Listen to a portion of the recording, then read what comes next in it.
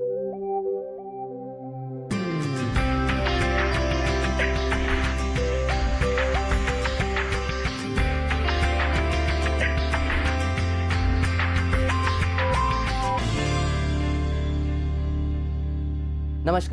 Success speaks में आप सभी का स्वागत है। जैसा कि आप जानते हैं कि हमारा ये शो एक प्रयास है सफलता का पर्याय बन चुके उन प्रतिभागियों की कहानी को आप तक लाने का। इन्हीं कहानियों में से एक कहानी है पुलकित गर्ग की। पुलकित ने साल 2015 की सिविल सेवा परीक्षा में 27वां स्थान प्राप्त किया? इसके अलावा हमारे साथ हैं देश के जाने माने विशेषज्ञ ए के मिश्रा। हमारे साथ हैं भारत के कोने कोने से आए वो विद्यार्थी जो सफलता का मूल मंत्र पाना चाहते हैं। इसके अलावा हमारे साथ हैं दो खास मेहमान पुलकित के माता पिता आप सभी का बहुत बहुत स्वागत है। पुलकित बहुत बहुत स्वागत है सक्सेस स्पीक्स में। सबसे पहले मैं जानना चाहूँगा कि आपने आईएएस की परीक्षा जो कि बहुत देश की सर्वोच्च परीक्षा है उसको पास किया है। तो पूरा शुरुआत कहाँ से हुई? बचपन कैसा था? किस तरह का माहौल था? पढ़ाई में कैसे थे आप? मैं कहना चाहूँगा बचपन मेरा जैसे सामान्य घरों में होता है। नॉर्मल हम मिडिल क्लास फैमिली थी, ना ही बहुत पुअर थे, ना ही बहुत रिच थे। तो जैसे सब घरों में होता है, अपना खेलते थे, दोस्तों के साथ घूमते थे, पढ़ाई भी करते थे सही से। तो ऐसा नहीं था कि मैं बिल्कुल स्टार्टिंग से ही कुछ टॉपर था या, लेकिन हाँ ये रहता था कि टॉप फाइव में रहता था टॉप टेन में रहता था। ऐसा नहीं था कि बहुत कम नंबर जाते थे। तो हमेशा अच्छे विद्यार्थियों में आपकी गिनती होती थी। तो तब हाँ। उस समय क्या क्या सोचते थे? क्या बनना चाहते थे या पेरेंट्स किस तरह से बोलते थे कि क्या बनना है और आपका खुद का क्या विचार था? तो किस तरह से वो सब शेप अप हुआ? मेरे को लगता है बचपन में आधे आधे इंडिया का सपना रहता है पायलट बनने का। तो मेरा भी जब छोटे होते हैं तो हाँ प्लेन को उड़ते हुए देखते हैं तो लगता है कि हाँ पायलट बनेंगे। लेकिन हाँ ऐसे कुछ स्टार्टिंग में कुछ कॉन्क्रीट नहीं होता है स्कूल में हम्म, हम्म, बिल्कुल भी। जी। तो जो भी सपना था या जो भी सोचा था, वो सब कॉलेज में आके ही डिसाइड हुआ है। उसी के बाद सोचा कि आईएएस की तरफ़ जाएँगे सिविल सर्विस परीक्षा लेंगे। उसके पीछे भी कुछ कारण है। जैसे, जब हमने सिविल जब फ़र्स्ट सेकेंड ईयर में होते हैं तो हर एक को कुछ ना कुछ चुनना होता है आगे जाने के लिए, कैसे आगे, कहाँ ज़िंदगी बढ़ेगी आगे। तो डिफरेंट तरीके होते हैं एमबीए के लिए जाते हैं कुछ लोग सिविल सर्विस परीक्षा के लिए जाते हैं कुछ लोग एमएस के लिए चले जाते हैं। मतलब उस तो, समय भी बहुत सारे ऑप्शंस होते हैं कि कहाँ पे आपका करियर शेपअप होगा पर आईआईटी दिल्ली आपने बताया कि आप आईआईटी दिल्ली से इंजीनियरिंग की पढ़ाई कर रहे थे वो भी अपने आप में बहुत अच्छा करियर है तो सिविल सेवा और दोनों चीज़ों को कैसे बैलेंस किया? हमेशा से ऐसा मेरा मानना आया है कि सिर्फ़ जो इम्पैक्ट है या जो जो भी मैं काम कर रहा हूँ उसका सिर्फ़ मेरे तक सीमित नहीं रह जाना चाहिए इम्पैक्ट उसका एक बहुत वाइड इम्पैक्ट होना चाहिए। मैं हमेशा से चाहता आया हूँ कि मैं सबके लिए काम कर सकूँ, सबकी भलाई के लिए काम कर सकूँ, ना कि सिर्फ़ खुद के लिए काम करूँ, ना ही सिर्फ़ पैसे कमाऊँ, कुछ आगे बढ़े जिससे देश हमारा। तो मेरे को लगता है सिविल सर्विस परीक्षा सबसे वाइड प्लेटफॉर्म प्रोवाइड करता है, सबसे बड़ा प्लेटफॉर्म प्रोवाइड करता है, और कोई प्रोफेशन कोई करियर इससे बड़ा प्लेटफॉर्म नहीं प्रोवाइड कर सकता है। बिल्कुल, सही कहा। सर, मैं आपसे एक बात जानना चाहूँगा कि जैसे पुलकित आईआईटी दिल्ली से पढ़ाई कर रहे थे। अपने आप में एक बहुत अच्छी संस्था है बहुत अच्छा संस्थान है एजुकेशन के लिए और बहुत अच्छा करियर ऑप्शंस प्रोवाइड करता है। तो कितने ऐसे प्रतिशत बच्चे होते हैं जो इतनी अच्छी संस्थाओं से निकल कर आई ए या सिविल सेवा परीक्षा की तैयारी करते हैं? नहीं अभी देखिए कुछ सालों से जो अट्रैक्शंस हैं उसमें काफ़ी टैलेंटेड स्टूडेंट्स और काफ़ी अच्छे इंस्टीट्यूशन से निकल करके सिविल सर्विसेज़ में आ रहे हैं। अब एक बहुत बड़ा अट्रैक्शन बना हुआ है और ये एक बहुत अच्छी बात भी है कि जो सिविल सर्वे जो जिसको कहा जाता है बैकबोन ऑफ़ इंडियन एडमिनिस्ट्रेशन तो जितने अच्छे से अच्छे टैलेंटेड बच्चे इसमें आते हैं वो आगे गवर्नेंस के लिए भी काफ़ी इंपॉर्टेंस रख रहा है और आज टेक्निकल फ़ील्ड से तो बहुत ज़्यादा स्टूडेंट्स आ रहे हैं खास करके इंजीनियरिंग के top of the institution of India उसमें हर जगह से हाँ, काफ़ी अच्छे सिलेक्शन बताया कि शुरुआत में फ़र्स्ट सेकेंड ईयर में ही ये वर्टिकल्स डिसाइड हो जाते हैं कि कहाँ जाना है कैसे जाना है तो आमतौर पर नहीं होता कि बच्चे खास करके इंजीनियरिंग में काफ़ी पढ़ाई काफ़ी टफ होती है तो कई लोग बहुत डिसाइड नहीं कर पाते बट जो बच्चे अर्ली लेवल टाइम पे डिसाइड कर लेते हैं तो उनके लिए फिर रास्ता आसान हो जाता है और अर्ली सक्सेस मिलने के भी उनके चांसेस बढ़ जाते हैं।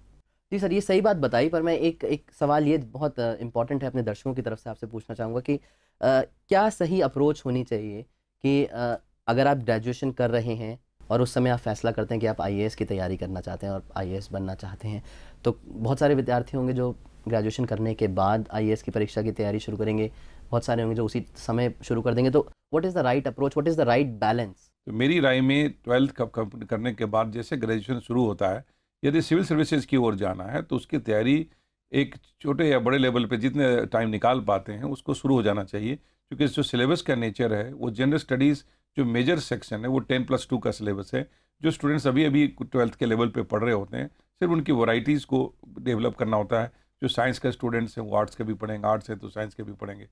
और ग्रेजुएशन के दौर में ये दौरान यदि ये जागरूकता आ जाती है तो कैंडिडेट के लिए बड़ा आसान होता है कि हमारा करियर का सिलेक्शन हो चुका है मुझे आई बनना है तो उसके अकॉर्डिंगली जितना भी समय ग्रेजुएशन के दौरान बचता है या निकाल पाते हैं जो फालतू समय जो इधर उधर ख़राब करने का समय है उसको बचा करके कैंडिडेट जो है फिर उन चीज़ों का अध्ययन करने लग जाता है। जैसे करंट अफेयर्स की अपडेशन है बेसिक्स जो फंडामेंटल्स को क्लियर करना शुरू करता है और जैसे ग्रेजुएशन कंप्लीट हुआ एलिजिबिलिटी बैठे तो वो एग्ज़ाम देता है तो that is the correct time right better right कि सही तरीके से सही सोच समझ कर उसकी तैयारी करें। That is the best time to start with चलिए अब मैं अपने एक्सपर्ट से कहूँगा कि हमारे गेस्ट के साथ अपने सफ़र को आगे बढ़ाएँ। सर प्लीज़ कुछ ऐसी महत्वपूर्ण जानकारियाँ प्रश्न जो आप पुलकित से करना चाहेंगे। पुलकित सबसे पहले आपको बहुत बहुत बधाई कि आपने एक इतना बढ़िया रैंक लिया।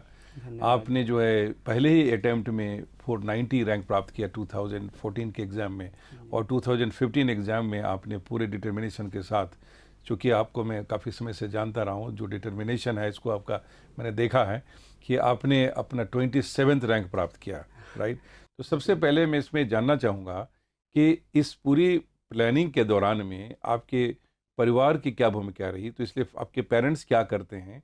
और उन्होंने किस प्रकार से आपको प्रेरित किया और उनका योगदान क्या रहा? जैसा कि मैंने पहले भी कहा था कि हम परिवार की ही छाया हैं तो परिवार का सबसे महत्वपूर्ण रोल रहा है तो उन्हीं का ही है। तो मेरी मम्मी जो हैं, वो मैथ्स की सीनियर लेक्चरर हैं और मेरे पापा बैंक मैनेजर हैं। तो अब कुछ कैरेक्टरिस्टिक्स हैं जो मैंने उनसे ही ली हैं, उनसे ही सीखा है मेरे ख्याल से। तो जैसे हम एक्सेलेंस की ही बात करें, जिस काम को कर रहे हैं, उसको अच्छे से करना। जैसे मेरी मम्मी जब ग्रेजुएशन में थी पोस्ट ग्रेजुएशन में तो वो मैथ्स में गोल्ड मेडलिस्ट थी। तो उससे एक सीख मिलती है कि हाँ आप जो करें, अच्छे से करें। जैसे मेरे पापा हैं, वो अपने ऑफिसर्स ऑर्गेनाइजेशन के प्रेसिडेंट हैं। तो उन्होंने मुझे हमेशा सिखाया है कि सिर्फ़ अपने लिए काम ना करें। सबके लिए, जो आपके साथ हैं, सबके लिए काम करें। सबको साथ में लेकर चलें, जिससे पूरा देश आगे बढ़े। आपको बहुत ज़्यादा जॉब सेटिस्फैक्शन मिलती है उनसे। इस सबका ध्यान रखने से। तो ये सब मैंने चीज़ें, बहुत ज़रूरी चीज़ें हैं, जो इस एग्ज़ाम के लिए, जो मैंने उनसे ही सीखी हैं। तो इसका मतलब है कि जो बेसिक प्रेरणा नेचुरली जब आपने स्टार्ट की होगी करियर की तैयारी तो उस दौरान में नेचुरली आप आप जब काफ़ी अर्ली डेज़ में होंगे तो ये ये जो सीड है सिविल सर्विसेज़ में जाने का कि करियर होगा तो इसके आपके माता या पिताजी ने दिया या दोनों ने मिल के दिया? आई थिंक ज़्यादा जो ड्राइव थी, वो मेरे पापा की तरफ़ से बहुत ज़्यादा थी कि हाँ इसी तरफ़ जाइए। मम्मी की तरफ़ से भी थी, दोनों की तरफ़ से होती ही है, क्योंकि ये पूरा परिवार का ही डिसीज़न होता है वैसे। अच्छा तो जो तैयारी के दौरान में बहुत सारे लो मोमेंट्स भी आए होंगे जहाँ होंगे अब एक सिचुएशन आएगा कि भाई अब आईआईटी जैसे इंस्टीट्यूशन से आपने इतनी अच्छी डिग्री प्राप्त की और उसके बाद आप जिसमें एक अनसर्टेनिटी है सिविल सर्विसेज़ के बारे में होगा या नहीं होगा ऐसी भावना भी आई होगी। तो इन चीज़ों को आपने कैसे कवर अप किया और पेरेंट्स ने यहाँ किस तरह से योगदान दिया? बिल्कुल इसमें काफ़ी बड़ा योगदान है। पेरेंट्स हमेशा से पेशेंट रहे हैं। सबको पता है कि ज़रूरी नहीं है कि ये पहली बार में हो जाएगा या दूसरी बार में हो जाएगा। तो उन्होंने हमेशा कहा है कि आप जितना चाहते हैं, जितने साल तक चाहते हैं, आप तैयारी कीजिए, हम आपके साथ हैं। कोई जल्दी नहीं है कि आप सैलरी कमाइए, आप जल्दी से पैसे घर में लाइए। तो जब भी जैसे मेरा रिज़ल्ट भी ख़राब आता था, अगर स्टार्टिंग में कभी हमने मॉक्स जो दिए हैं, जब भी पढ़ाई करते हुए कभी कभी आत्मविश्वास थोड़ा कम हो जाता है तो उसमें हमेशा मम्मी पापा ने कहा है, सहारा दिया है कि आप अच्छे से पढ़िए बस बस आप मेहनत करिए, रिज़ल्ट की चिंता मत करिए। हमारे साथ स्टूडियो में चूँकि आपके माता पिता भी यहाँ अवेलेबल हैं तो हम उनसे ये सवाल जानना चाहेंगे। सबसे पहले आपको बहुत बहुत धन्यवाद कि पुलकित ने इतना अच्छा रैंक प्राप्त किया है और इसमें आपका बहुत बड़ा योगदान रहा होगा। तो सबसे पहले मिसेस गर्ग से मैं ये जानना चाहूँगा कि आपने बचपन से जिसको देखा है, मुझे मालूम है कि आप इसके टीचर के जैसे भी आपने व्यवहार किया है तो आपने इसके अंदर क्या प्रतिभा देखी या क्या इसके अंदर क्वालिटी थी जो आप बताना चाहेंगी? मैंने शुरू से इसकी नेचर में देखा कि ये दूसरों की भलाई के लिए भी कुछ करना चाहता है और समाज सेवा के लिए भी कुछ करना चाहता है। तो और दोनों इसमें क्वालिटीज़ डिटर्मिनेशन और डेडिकेशन भी बहुत रही है। तो इसलिए ये टफेस्ट एग्ज़ाम को भी क्रैक कर सकता है। तो इन क्वालिटीज़ के साथ और सबके साथ मिल के चलने के लिए इन सभी बातों को देख कर मैं, मुझे लगा कि ये आईएएस की तरफ़ बहुत आसानी से जा सकता है और क्रैक कर सकता है। तैयारी के दौरान में बहुत सारे इसके इमोशनल सिचुएशंस भी आए होंगे। और चूँकि आप मदर हैं और आपके साथ ही रह कर तैयारी कर रहा था तो उसके दौरान में आपने उस सिचुएशन को कैसे हैंडल किया होगा और किस तरह से आपने इनकी मदद की? हाँ काफ़ी बार ऐसा हुआ है कि क्योंकि ये एग्ज़ाम ही ऐसा है जिसमें बच्चे क्योंकि श्योरिटी ना होने के कारण तो थोड़ा सा तो लगता है कि पता नहीं क्या होगा पर डिटर्मिनेशन इसका इतना ज़्यादा था कि कभी ऐसे बहुत ज़्यादा मुश्किल नहीं आई है। अब मैं जो है मिस्टर गग से, जो पिता के रूप में एक बड़ा ज़बरदस्त रोल इन्होंने निभाया, मैं जानना चाहूँगा कि आपके मन में कैसे भावना जागी और आपने क्या क्वालिटी देखा अपने बेटे के साथ में, जो आपने देखा कि इसको आई बनाना है? सबसे पहले तो मैं ये कहना चाहूँगा कि पुलकित में मैंने शुरू से ही देखा है कि वो बहुत हार्ड वर्किंग है। लेकिन मैं इन सब बातों से अलग, आपके सवाल से अलग दो बातें और कहना चाहता हूँ। एक पहली बात तो ये कि मैं उतना खुश हूँ जितना 22 साल का एक बेटे का बाप जब वो 22 साल की उम्र में आईएएस बन जाए तो वो खुश हो सकता है मैं इतना ज़्यादा दूसरा कभी कभी बहुत बार डिसअपॉइंटिंग मोमेंट्स आते थे। मॉक टेस्ट हो गए या पुलकित और कोई कोचिंग कर रहा है तो कभी नंबर कम आ जाते थे। तो पुलकित मेरे से बहुत इमोशनल अटैचमेंट है। तो मैं इसको बहुत टाइट हक करके कहता था कि बेटा एक चीज़ ज़िंदगी में ध्यान रखो work hard and trust in God trust के साथ इन हमेशा गॉड के लिए यूज़ होता है। अदरवाइज़ हमेशा ट्रस्ट एट आता है। तो इसीलिए मैंने इसको यही परसू किया। Definitely work hard trust in God definitely you will get success and that was only the blessings of all the men's God almighty that he. Is presently at this stage बहुत अच्छी बात है क्योंकि हर guardian जो आप दोनों से inspired होंगे कि माँ बाप का रोल कितना इंपॉर्टेंट होता है। और घर में ये सिर्फ़ पुलकित का मिशन नहीं था बल्कि आप दोनों जो साथ में माँ बाप जो इसके साथ लगे रहे तो एक्चुअली से ये तीनों का एक मिशन हुआ। तो एक बार फिर से आपको बहुत बहुत धन्यवाद और बधाई देता हूँ कि और आने वाले लोगों के लिए इंस्पिरेशन का एक सोर्स बनेगा ऐसा मैं उम्मीद करता हूँ। तो thank you very much for coming in studio thank you sir यहाँ कुछ देर के लिए हमें रुकना पड़ेगा। सक्सेस स्पीक्स में अभी हमें लेना होगा एक छोटा सा ब्रेक आप कहीं जाइएगा नहीं।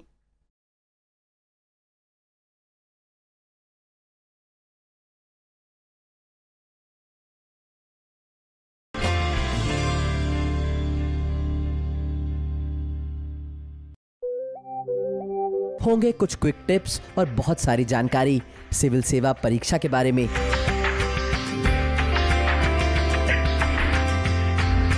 हमारे खास कार्यक्रम सक्सेस स्पीक्स में। हर मंगलवार सुबह नौ बजे डीडी नेशनल पर।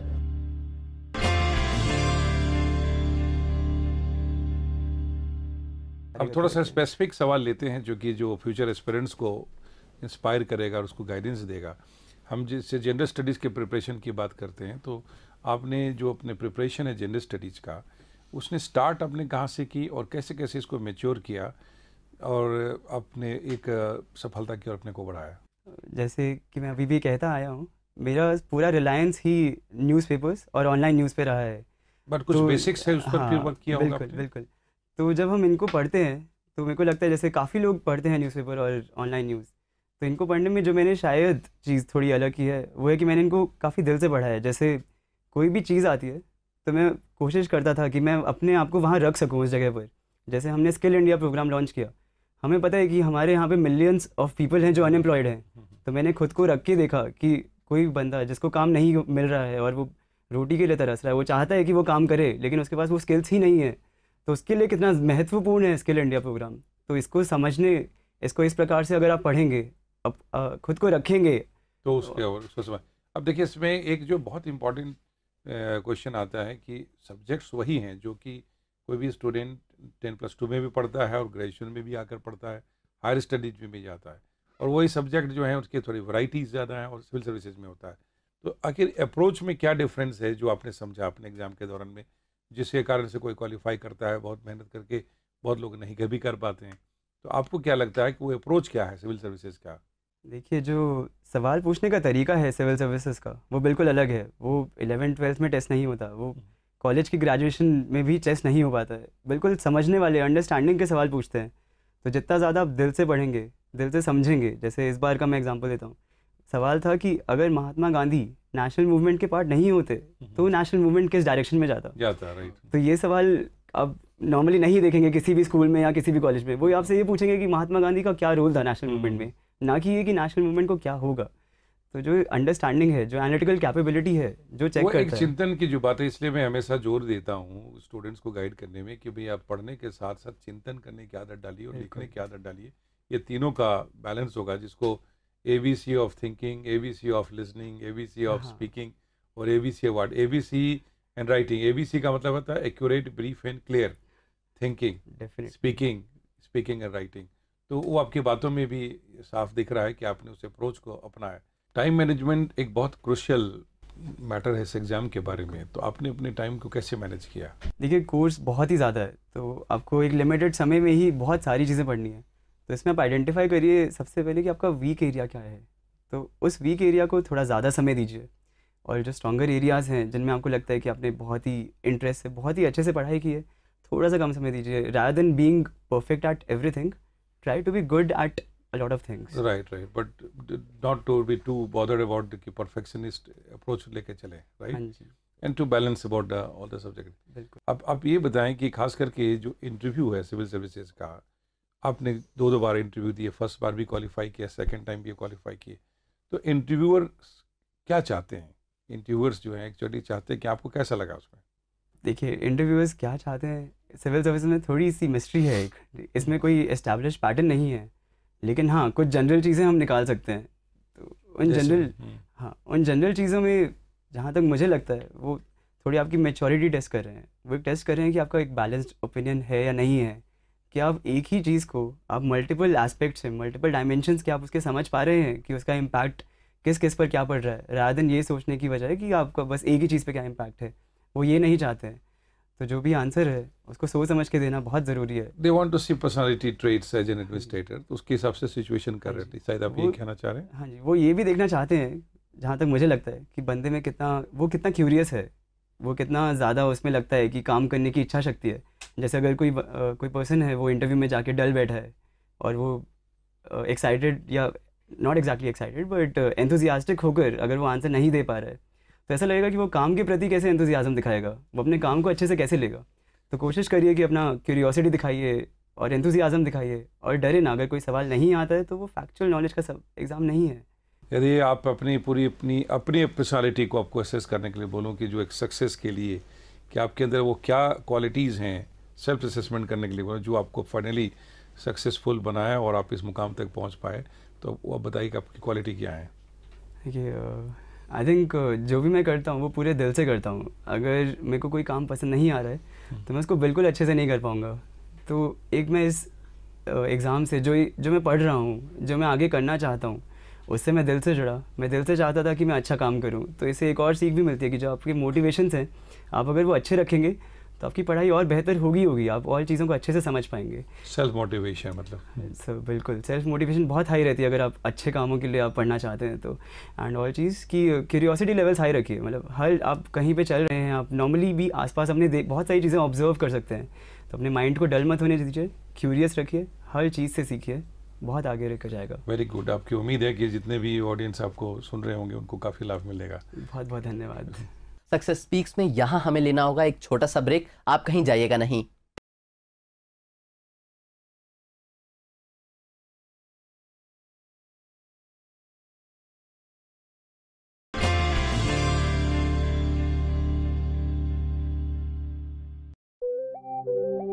मिलिए सिविल सेवा परीक्षा के सफल परीक्षार्थियों से और जाने उनकी सफलता के राज सक्सेस स्पीक्स के साथ।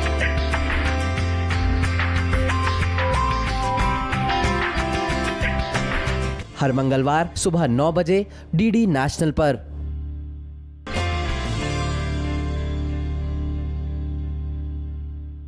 बहुत सारे टिप्स आप लोगों ने दिए और हमारे साथ हमारे स्टूडेंट्स भी हैं जो देश के कोने कोने से आए हैं और आपसे और पुलकित से बहुत सारे क्वेश्चन पूछना चाहते हैं। चलिए उनकी तरफ़ रुख करते हैं, हमारे ऑडियंस की तरफ़। सर, मेरा क्वेश्चन ये है कि हम जब भी किसी मेंस में कोई आंसर अटेम्प्ट करते हैं तो हमारे पास बुकिश लैंग्वेज तो बहुत सारी होती है कि हमारे पास कंटेंट बहुत सारा है, वो हम लिख सकते हैं। बट इशू ये है कि जब हम आंसर कर रहे हो as a UPSC point of view तो हमारे जो आंसर होते हैं वो सारे पॉइंट ऑफ़ व्यू को कवर करने चाहिए। फॉर एग्ज़ाम्पल जैसे एडमिनिस्ट्रेशन या फिर बाकी चीज़ें या पॉलिटिक्स व्यू पॉइंट तो हम आंसर कैसे करें एज मेंस में? ये मेरा क्वेश्चन है सर बिल्कुल। देखो, एक मेंस का आंसर लिखने में on an average ten marks का आंसर लिखने में सात मिनट मिलते हैं, ठीक है?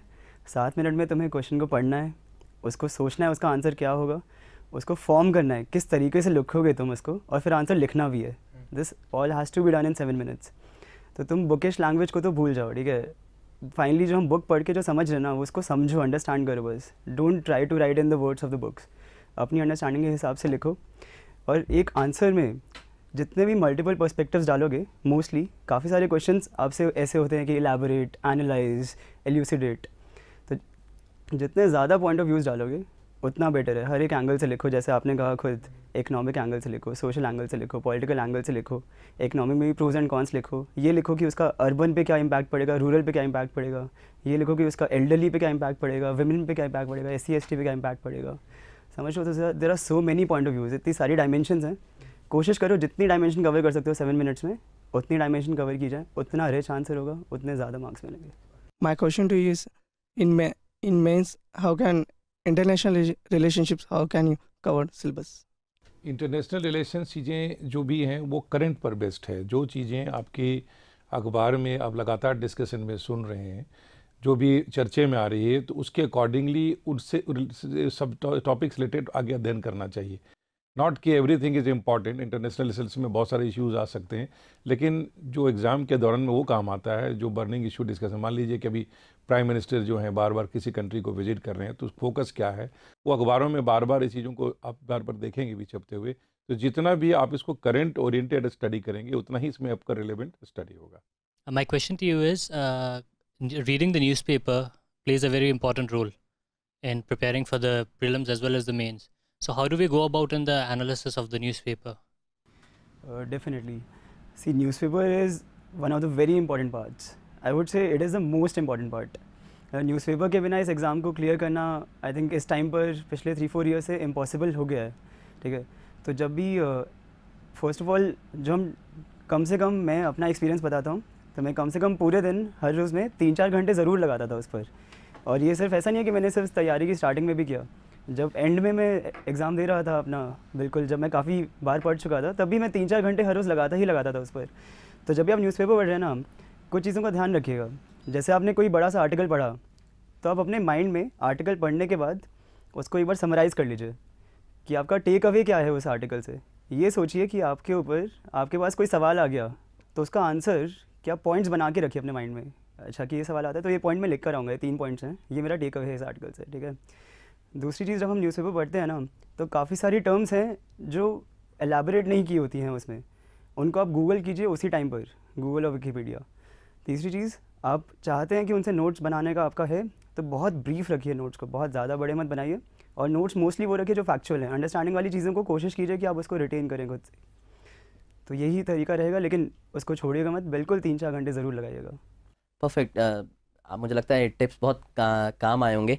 जाते जाते सिर्फ़ कुछ सक्सेस मंत्रास अगर मैं जानना चाहूँ हमारे स्टूडेंट्स के लिए तो क्या क्या देना चाहेंगे एस्पायरिंग कैंडिडेट्स के लिए? दिल से पढ़ाई करें, अच्छे पर्पज़ के लिए पढ़ाई करें और पूरा अपना डेडिकेशन बनाए रखें, हार ना माने, ये ना सोचें कि बहुत बड़ा एग्ज़ाम है, मैं कैसे कर पाऊँगा? ये सोचें कि ये सिर्फ़ डेडिकेशन और परसिवरेंस का ही काम है। आप निकाल सकते हैं। आप एक अच्छे आई बन के देश को आगे ले जा सकते चलिए पुलकित मुझे लगता है परसिवरेंस ही मूल मंत्र है सक्सेस का। आपका बहुत बहुत शुक्रिया आप हमारे स्टूडियो में आए और अपना कीमती समय हमें दिया। सर आपका बहुत बहुत शुक्रिया हमारे साथ जुड़ने के लिए। धन्यवाद। तो ये था आज का सक्सेस स्पीक्स उम्मीद है हमारा ये शो आपको बहुत पसंद आया होगा। अगले हफ़्ते इसी समय पर आपसे होगी फिर मुलाकात। तब तक के लिए नमस्कार गुड बाय